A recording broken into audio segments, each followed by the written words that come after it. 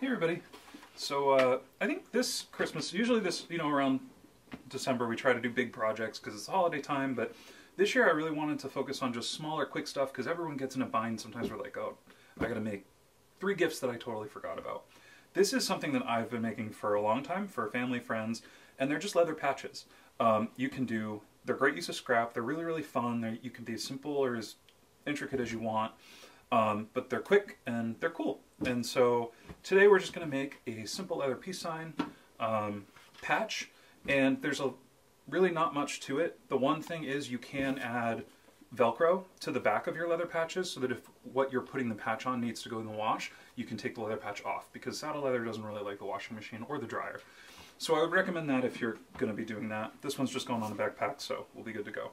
Um, yeah, so let's get into it. So all I did to make this pattern is I went online and I found a peace sign picture and I printed it out and then I made this little template thing. So you want to make sure when you're making a leather patch that you leave room for the stitching on the outside for where you're going to stitch it to whatever you're putting it on. Um, or, you know, you put your Velcro on the back. You don't have to do that. This one's going to be stitched on. So I put the peace sign and then I did, I think this is like a quarter of an inch all the way around so that we'll have room to sew this onto um, actually, I think Kayleen decided she was going to put on her jacket. So this will be on a jacket. Um, other than that, though, just some scrap of 5 ounce leather. We're just going to trace everything out and get it cut out first.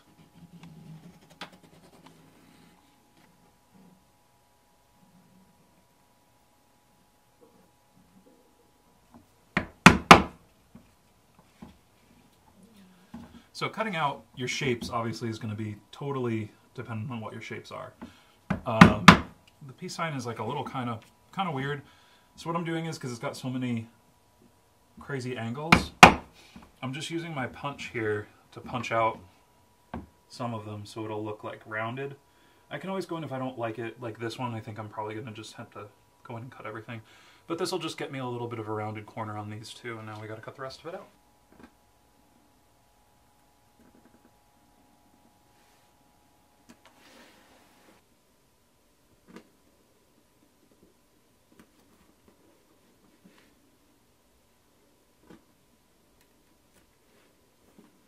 So once we have everything cut out, if you're doing kind of a more intricate shape, it's going to be a little bit haggard looking, um, unless you're really, really, really good with a, with a knife. So what I do is I'm taking some worn out, this is like 150 grit, but you want to use like roughly around 300 grit sandpaper. I'm using this because it's worn out, so it's not going to be too aggressive.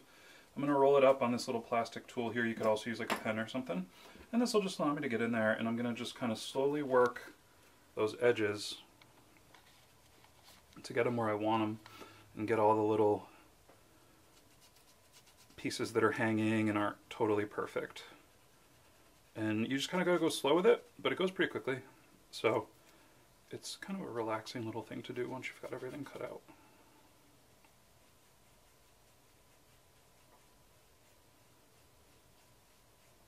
And you can see we're just kind of smoothing out that curve there.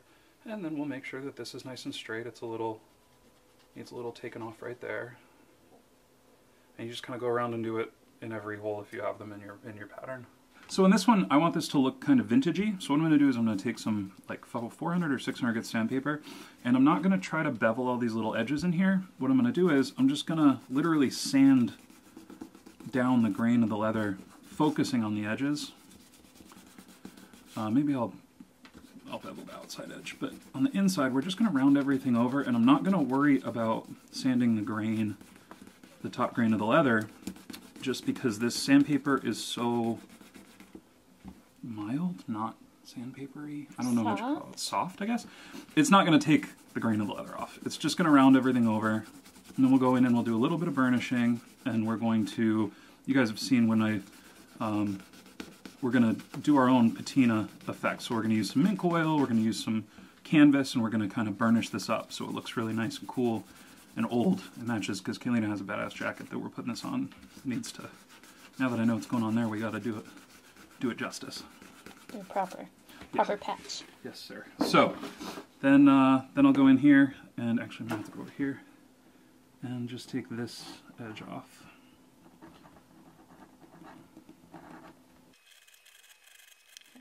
All right, so before we burnish anything, um, I'm going to go in with some mink oil, and I'm going to just douse this thing with it. Now the reason I'm doing that is, when we go into burnish, um, if you get gum trag on the grain of the leather, it can kind of like seal off the grain and not let the oil sink in. Um, it'll eventually wear out like, in a, you know, a couple days. It's not permanent or anything, but because we want to make sure this looks nice on video, I am going to just do this first. And I'm also going to oil the edges. These are unsealed, so the mink oil will sink in here, which is also partially why I'm using the liquid instead of a paste. Um, I usually use mink oil though. Mink oil I use for color, and then um, like paste wax or whatever I use to fully nourish the leather. We'll hit the whole piece with some paste wax when it's fully put together. But I'm going to go in and get all these little crevices too. And I'm going to be kind of haphazard about it because remember we want this to look old. So if it's uneven color or has a little bit of, uh, we go too heavy in some spots and it stains a little bit, that's what we're actually going for. Alright, so this is admittedly not going to look very good before it's done, but once we get it on the jacket it'll all make sense. Um, we're just trying to make this piece look old and we are going to put it on a backing piece I haven't cut out yet. But, so I've gone and kind of burnished everything on the edges a little bit. Now I'm going to put some gum trag over top and I'm going to burnish the actual grain of the leather. You've seen me do this a couple times before. And this is basically just what happens to natural veg tan when it's in your pocket for years, but we're just speeding it up. Um, that's a lot of patina is just burnish. So if we take some canvas, we're essentially just recreating, putting it in a pocket, taking it out of a pocket, putting it in a pocket, taking it out of a pocket, you know, a whole year's worth of use, I guess. Not, it's not, but we're making a patina. Gotta be real careful. I don't want to false advertise anything. So I'm gonna do this. Ooh, I can complain about. I got this nice new shirt to wear on camera. It matches the sweatshirt I always wear. Immediately got edge paint all over it. It's comfortable though, so, so I guess this will just become my signature paint-covered shirt for now on. Why not? Everyone needs a workshop shirt. Right? Get it out. It's like uh, scratching a new car, so you're not afraid to drive it. Right. Okay, I think that's good. And this will all, like I said, it'll all even out. So now we just have to cut this circle out.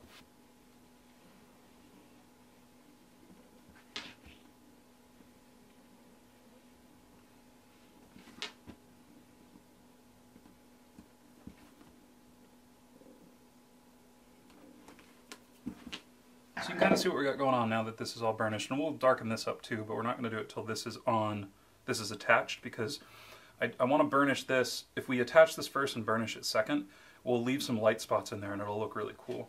So what I've done is I've set my calipers to, or I'm going to set my calipers to a quarter inch because that's the space that I want um, on all sides. And we're going to go around, and this isn't a stitch line, it's just like a, just a mark to show us where to line up our inner circle. And then I'm going to go get my basting tape because we're not going to glue this, we're just going to tape it before we stitch it, but you can see with that line we can just place that and perfectly center it on our second circle.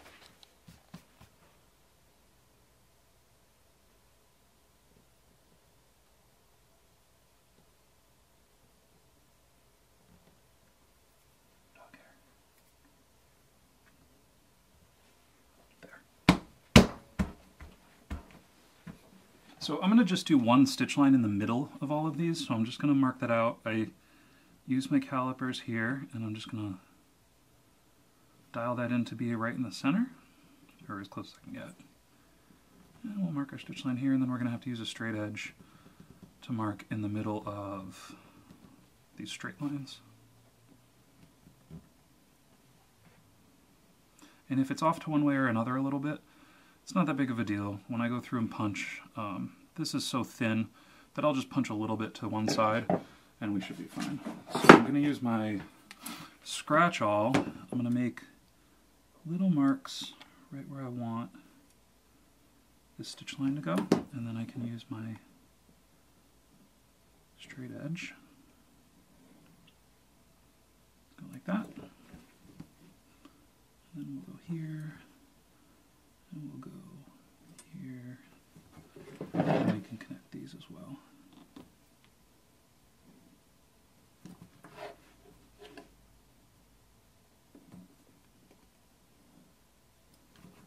I think we're ready to punch.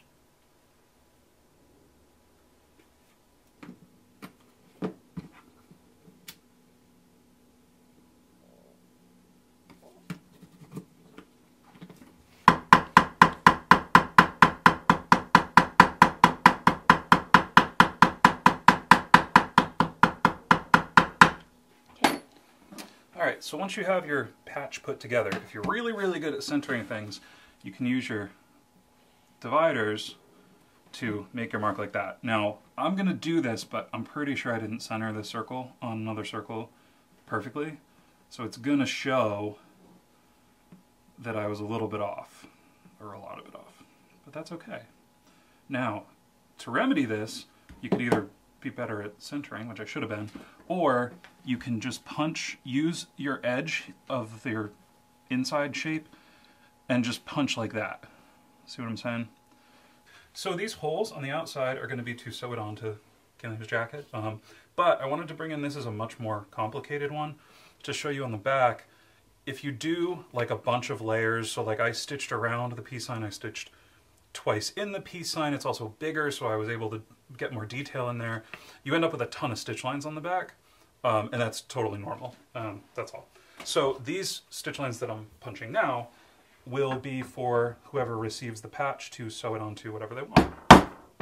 Unless you go the Velcro route, in which case you're going to be sewing Velcro on to the back of your patch, however you'd like to do that. And you can see now that by putting, these were the same cut of leather, same piece of leather, but by oiling this one twice, waiting until we have everything layered together, you can see how this one's going to end up much darker than the bottom layer, which is something that would happen had this been put on brand new and worn in as well. And we're pretty much done with this.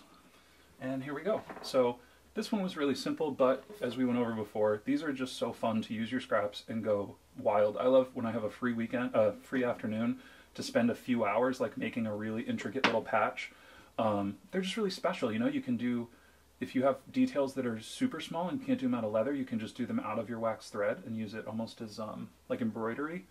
Uh, for this one, Kaylena's going to pop this on her jacket and maybe we'll be able to throw a picture in at the end uh, if we can get that done before I'm editing the video. Um, but yeah, that's about it. These make great holiday gifts with the holidays coming up. They're a great way to use all your scrap. They're a great way to inject a little more personality we don't do a lot of graphic work, you know. So this is a great way to like if you have a loved one that has a special interest, you can make a patch for them, and it's a really special gift. I'll be honest. That I get a better reaction to patch out of patches than wallets a lot of the time. So um, I look forward to seeing what you guys come up with. Uh, thank you guys so much for watching. We'll see you in the next one.